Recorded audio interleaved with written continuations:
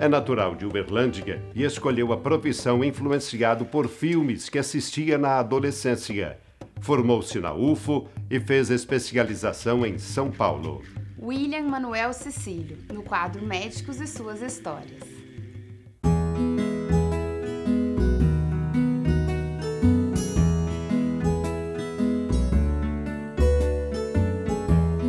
William Manuel Cecílio nasceu em Uberlândia, filho de Manuel Cecílio Jorge, de Jurren Cecílio Jorge. Fiz toda a minha parte de escolaridade até a minha faculdade aqui na Universidade Federal em Uberlândia. Fiz a minha residência médica aqui e fui fazer a minha especialização em São Paulo. E voltei, me inseri no quadro clínico aqui do Hospital Santa Genoveva e estou aqui desde 1985. Formei em 1982 e atuo na área do aparelho digestivo. O meu interesse desde menino em assistir filmes que retratavam a vida médica.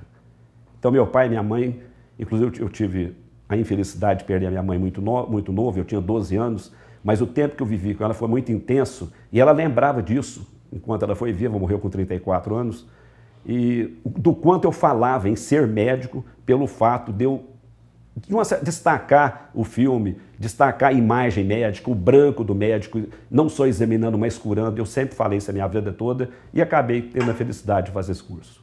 A especialidade também, eu sempre tive assim muito o perfil voltado para soluções mais rápidas. Eu sempre falava que eu não queria fazer só área clínica, eu ia fazer uma especialização voltada à área cirúrgica. Que quando eu escolhi a área do aparelho digestivo, também foi uma coisa muito forte ligada à doença que levou minha mãe. Ela teve um tumor intestinal que acabou tirando ela muito cedo de todos nós. O começo sempre é mais difícil, mas eu tive que o abraço dos colegas de Santa Genoveva, o departamento de cirurgia que me, me abraçou aqui de uma maneira bastante terna, amiga, e com isso eu, eu tive assim, um ambiente, uma atmosfera muito boa. Eu faço medicina por amor. Eu sempre, como eu falei para você, desde novo, menos de 10 anos eu falava em fazer medicina.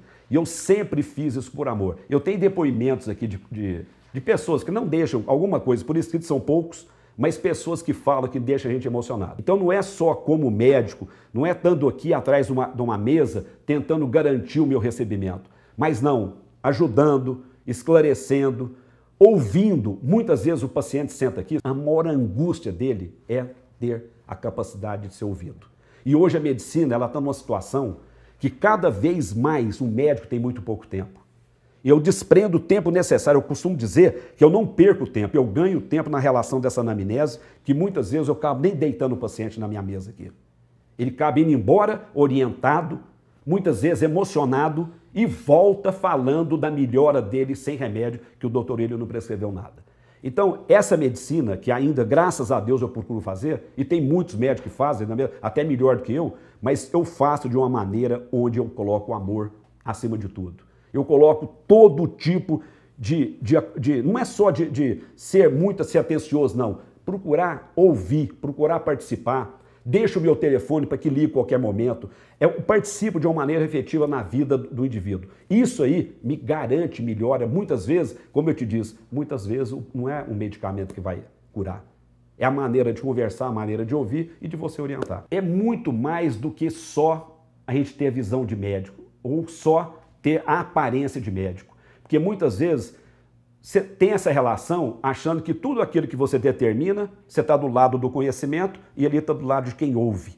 E essa relação, esse binômio, ele pode ser muito mais aprimorado e melhorado. Então eu percebo que quando eu procuro ser o mais simples, a pessoa que eu saio do, do, da minha capacidade de médico, mas sento também como ouvinte, William, a gente percebe que essa relação ela tende a só melhorar. Graças a Deus eu não me arrependi ao longo do meu tempo de escolher o que eu faço. O maior orgulho que eu, que eu tenho é esse de fazer por amor e fazer com amor. E lembro da satisfação muito assim, por várias vezes repetidas, na minha presença, na minha ausência, do orgulho também que meu pai tinha de eu ter seguido, o seu Manuel Cecílio, de eu ter seguido isso. E ele ter ouvido de outras pessoas, que ele me trazia muitas vezes a conversa, de outros amigos dele que consultavam comigo, como é que era o meu procedimento, como é que era a minha conduta aqui dentro do consultório, como é que era a minha atenção. Então, esse orgulho não é só meu.